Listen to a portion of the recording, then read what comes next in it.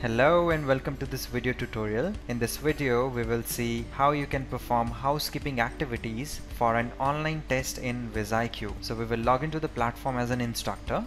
Once you log in you will go to the top left menu option and click on tests. Again you can see the list of tests which we have already published, the tests which are in drafts and the tests which are passed. Whichever test you want to edit you will click on that particular test and you will find an option of editing it so you get to see the setting options wherein you can change the title description instructions and in case you want to change uh, any basic settings you can do that. For example let's say I want to have negative marking in this case and the negative marking should be 50% I do not want to have any time duration for this test let's say I want to keep this test as unlimited in step number two, if I feel that I want to add more questions here, then I can click on add question. And let's say I want to create a fill in the blanks in this case.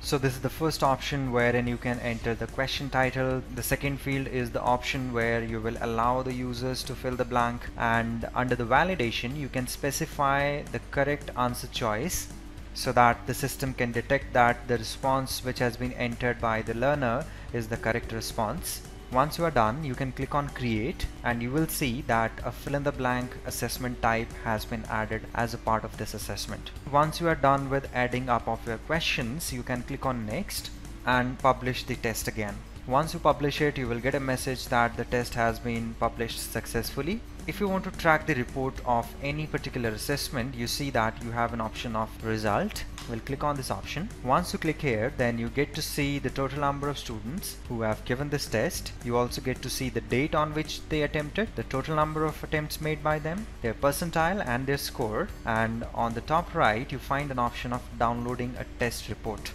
There are two fields in test report one is the test summary and another one is the test score sheet under the test summary you get to see the course name the test title the date on which it was created. In case you have made any changes to the test it will show you the modification date and it will also show you the day on which you have downloaded the assessment.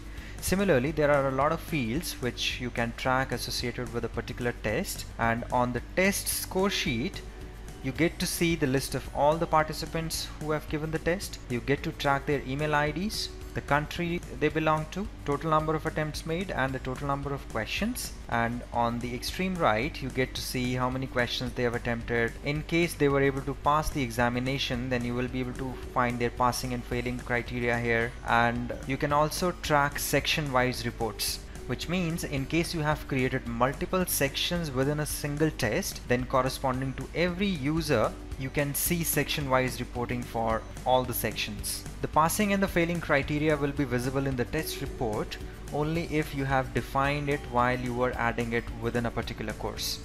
In case you have made multiple revisions to a single assessment, then you can also track revision wise reports from here. There's just one option here which means that uh, you have not made any modifications to this particular assessment. Thank you so much for watching this video tutorial. I hope that this video will help you in order to edit an existing assessment as well as tracking their respective reports.